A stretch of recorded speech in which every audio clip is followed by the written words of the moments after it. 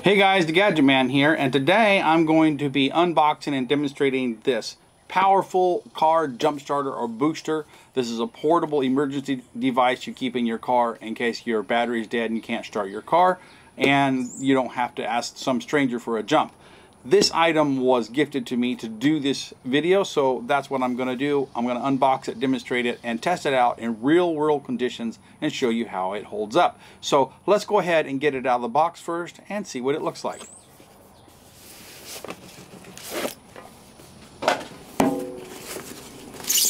I have our all-important user manual and uh, got a pretty wow this is one of the bigger ones I've I've actually tested quite a few of these and I'm going to say that this is on the larger side but it does seem to be heavy so it's probably got a pretty big battery can start you know pretty heavy duty stuff. So there we go. Let's get that out.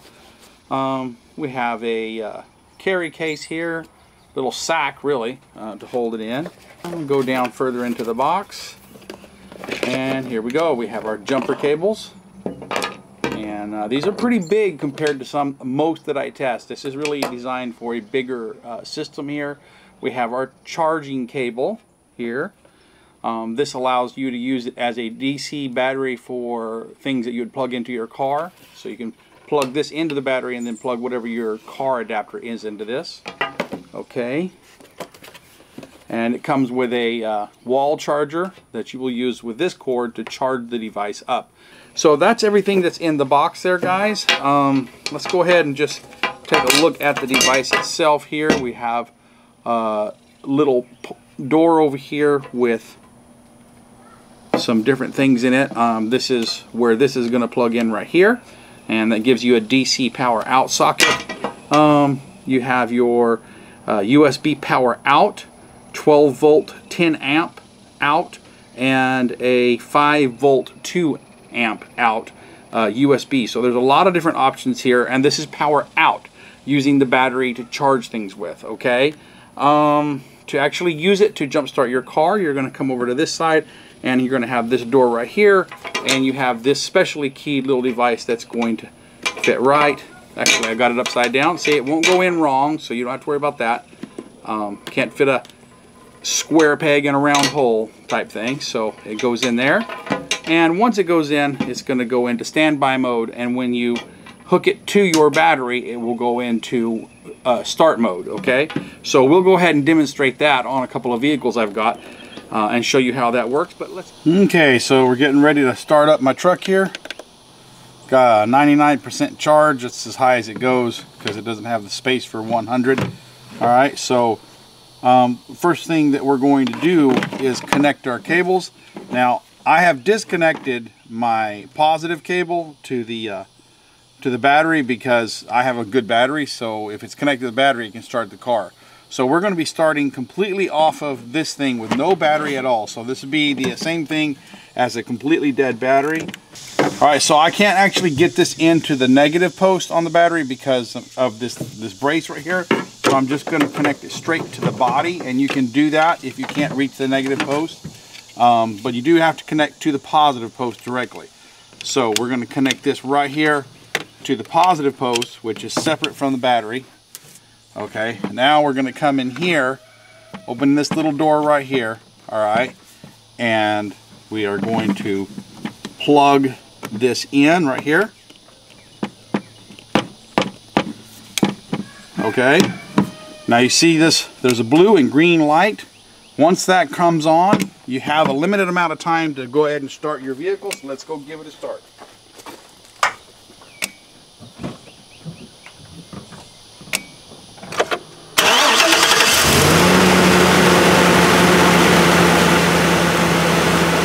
Once your vehicle is started, go ahead and disconnect the positive and unplug it.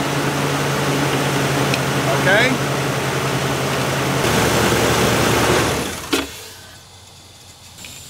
Okay, so you saw that it completely started the, truck up no problem.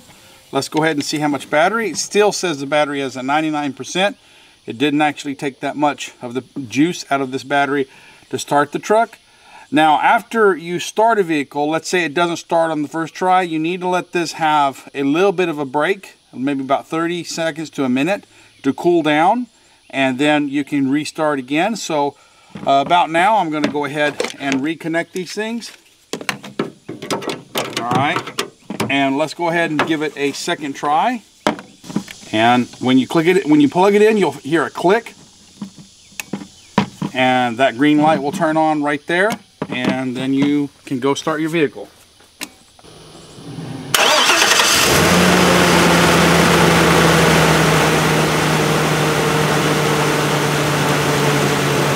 Okay, so this is my old 1998 Nissan Frontier pickup.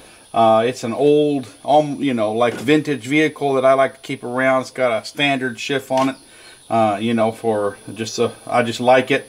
And I just keep it around the farm. Um, I don't use it a whole lot and the battery goes dead on it a lot. So um, I've, once again, I've disconnected the positive battery cable so there's no power to the system we'll go ahead and connect the negative and the positive here.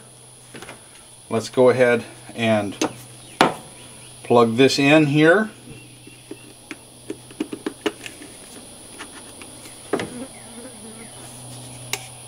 Okay, we see the green light. Let's go give it a start.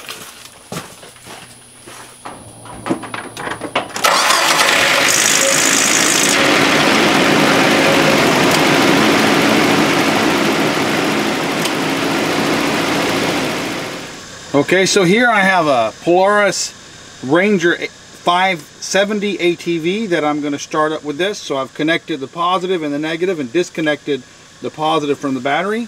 So let's go ahead and plug this into the unit again.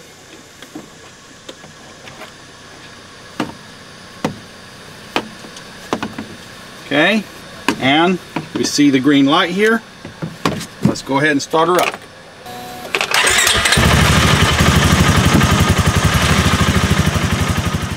Alright guys, so I've started all three of these vehicles you see in the picture here. This Polaris Ranger, that Silverado 2500, and that old Nissan pickup in the back there. Uh, all with this here. Started the Silverado twice. And the battery here is still registering at 99%. So it's got a lot more juice in it. Um, it doesn't take a whole lot to kick these babies off. Alright guys, so you saw it there. It started up three different vehicles. My Silverado 2500 HD, a uh, 1998 Nissan Frontier pickup, and a Polaris Ranger 570 ATV. Alright guys, so it had no trouble um, starting those up. And after that, still registering 99% on the battery, which means it didn't use any of the battery or very little of it um, to get those things started. So still got a lot more starting power in it. Um, you know, are also charging power. And it does have this light over here. And you got to hit that button twice real fast and turns the light on. And that would be a work light. And then it has kind of a flasher light there. And then we have like an SOS emergency code there. And twice again turns it off. Pressing this twice turns that off. Pressing it twice again turns it back on. Okay, and that's about all there is to show on this, guys. So I hope you enjoyed this video. If you have, please hit the thumbs up underneath the video to let me know this video helped you out. Until next time, this is the Gadget Man saying, I'll see you later.